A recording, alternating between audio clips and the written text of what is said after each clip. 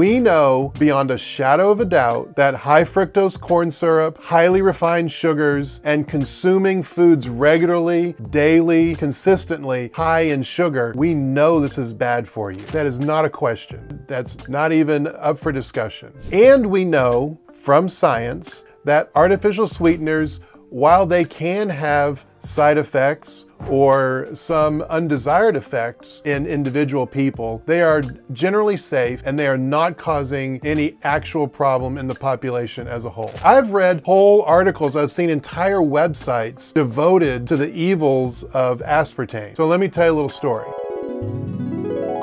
A chemist was working in his lab and he was trying to create a, a, brand new compound to be used in the nutritional area. When he reached a certain point with his experiment, he had a white fine powder. And so he tasted it. And sometimes people kind of are like, whoa, what's he doing tasting this? Well, remember, he was creating this for nutritional purposes. So he already knew that the compounds he was working with were going to be safe for human consumption. He found out that this powder is very sweet and he began trying it in a variety of drinks and realized he could sweeten a drink with very little of this substance and it would taste just like it was sweetened with sugar or very, very close to it.